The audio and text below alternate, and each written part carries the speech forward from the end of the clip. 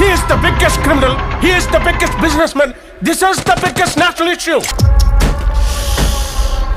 Violence, violence, violence. I don't like it. I avoid. But violence likes me. I can't avoid.